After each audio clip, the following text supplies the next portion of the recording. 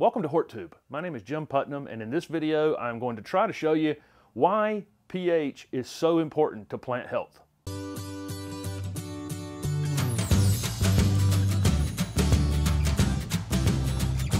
So at its most basic level, plants use the sun's energy to turn nutrients or elements, they're just basic elements in the soil, into amazing chemistry to make fruits and all kinds of flowers and vegetables and all the things we love in gardening and in wooded spaces. And it's just an absolutely incredible thing what they can do with these basic elements that are in the ground. But guess what? You can have the elements in the soil that that plant needs, but if your pH isn't right, those nutrients can actually be locked up in the soil. And when you buy a fertilizer, a fertilizer has, you're always going to see the three numbers, like this uh, Osmocote is 14, 14, 14. Those numbers are the macronutrients. Those are the three things that plants need in larger volume. They're nitrogen, phosphorus, and potassium.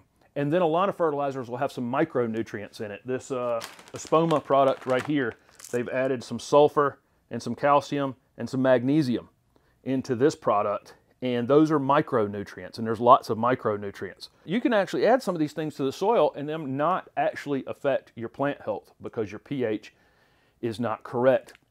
You can get a basic pH meter like this one right here. Uh, it measures pH from 3 to 8. The nice thing about this meter is it actually is a moisture meter as well. It'll help you watering your house plants and things like that. But what you'll notice on this pH meter is it sits at 7 when it's not in use. 7 is neutral. Uh, anything below seven, we consider acid. Uh, things that are acid in the world are things like vinegar. Um, anything above seven is called alkaline.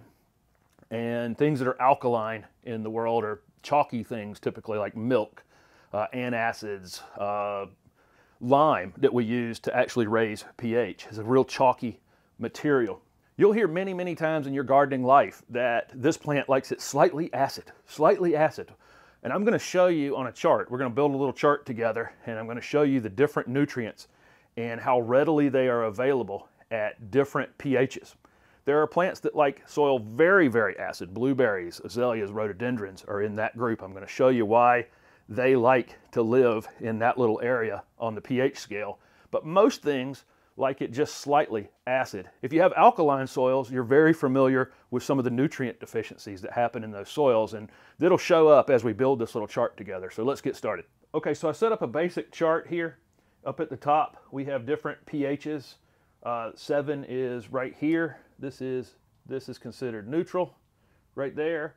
Anything on this side of the scale is alkaline soils. Anything on this side of the scale is acid soils.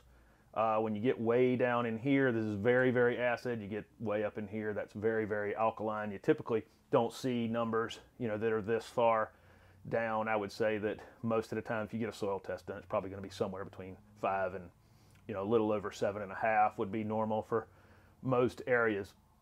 Uh, over here on the left, I have nitrogen, phosphorus, and potassium. That's your three macronutrients right there. And then there's sulfur, calcium, magnesium, iron, manganese, boron, copper and zinc, and molybdenum.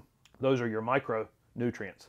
Individual plant varieties don't necessarily need all of these to do their magic, but I want to show you where each of these things is available in this chart for the plant to easily use them. So what we know about nitrogen is somewhere between 6 and 8, it's very readily available. I'm going to try to do about a double line to represent very readily available. When the pH goes under 6, it actually becomes less and less effective. And I'm just going to narrow that line down as it goes to there. it just becomes less and less effective. Same thing when the pH goes when the pH goes over 8.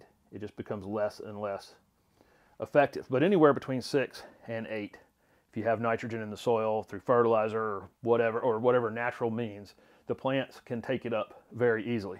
Phosphorus has a very similar chart of where after 8 it kind of becomes less effective and down to 6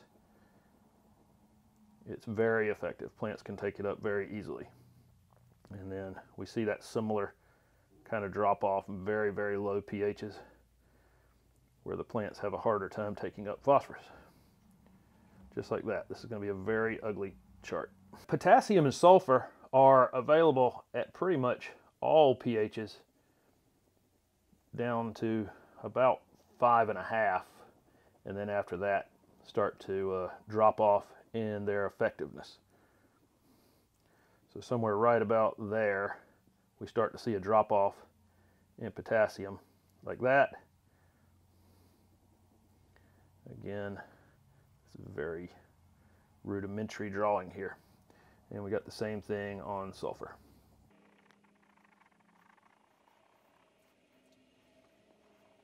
Calcium and magnesium kind of mirror nitrogen, but they drop off on both sides just a little bit earlier. So where this was somewhere around 6, it's somewhere around 6.5 that calcium drops off like that in its effectiveness. And plants can take it up down here. It's just not as readily available. Then it drops off here as the as it becomes more alkaline very quickly. And like I say, it's a very similar chart on magnesium here. Somewhere right in there. There's the sweet spot. Somewhere between about 6.5 and 8. Okay, now iron is very different than the rest. It's extremely effective in very acid soils and starts to drop off as we get closer and closer to neutral and drops off very quickly. In alkaline soils, it is hard for plants to take up iron. You see lots and lots of iron deficiencies, which show up as yellow leaves with the veins in the center of the leaves. That's what iron deficiencies look like, and you can see anything on the other side of neutral with iron. It, it really has a hard time taking it up. Manganese is very similar chart to iron and drops off even sooner.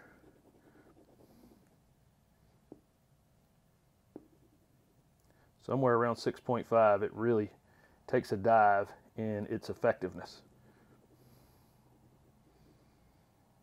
Boron pretty much uh, mimics iron, and it's pretty effective in very, very low pHs. And then sometime around neutral, it becomes hard for the plants to take it up. At most normal pHs, copper and zinc are pretty, pretty readily available. It drops off a little bit on the other side of neutral, on the alkaline side, but not too terribly much until it's pretty much off a chart that would not be normal in any kind of soil, maybe a little bit between after 8 it starts to drop off some like that. So molybdenum actually drops off on the acid side of the chart and is pretty readily available at all other pHs. But when you get start to get over here, it drops off as the pH goes much, much lower. Okay, so that's complete our very, very ugly rudimentary chart right here. But the thing I want you to see from this is right here, 6.5. This would be considered slightly acid, 7 being neutral right there. If we draw a line from the top straight down through the middle of this chart right here, straight down, you're going to see we hit the sweet spot on almost every single nutrient. Not every plant needs all of these different nutrients, but if you put a plant in a soil that has a pH of 6.5, almost everything it needs is going to be available in that soil. It doesn't mean that plant's going to be the most happy in that spot. There's lots and lots of plants that have very special requirements for pH. Uh, blueberries, that's one for sure, wants to be way down here between four and a half and five and a half. Azaleas and rhododendrons also like to live in this area. There's lots of plants that like very low pH. And I think what they want after is they're after that iron and they don't want a lot of nitrogen and phosphorus. There's plants in the plant kingdom that like to be on the alkaline side as well. They like that balance of nutrients. But, but just generally speaking, if you balance a soil mix to 6.5, most things will at least live and have the nutrients they need available to them. So that's why you're going to hear Oh, it likes slightly acidic soil. You can generally get your pH tested from your county extension agent or you can buy one of those pH testers like I showed at the beginning and I'll link that in the description of this video and figure out where your pH is, whether it's a soil mix for a container plant or in the ground, and then you can adjust it accordingly. We typically add lime if we have extremely low pH and we want to get it closer to neutral or slightly acid.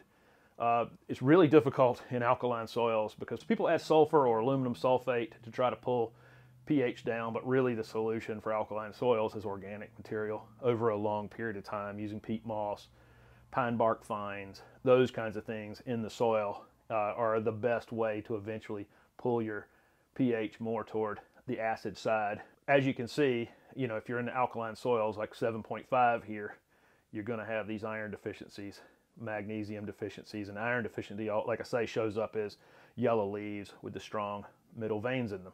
So there you go. Here's my ugly chart, and I just wanted to show you why slightly acid is a good start for most plants. So I hope you were able to get something from my extremely rudimentary lesson on nutrient availability based on different pHs.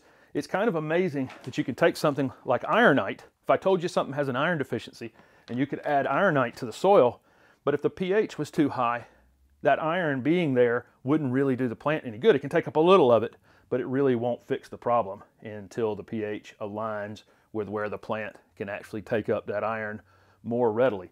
So anyway, thank you for watching my video, and if it was helpful, please hit the like button and subscribe to my channel for future videos. Also comment below with any questions you have about pH.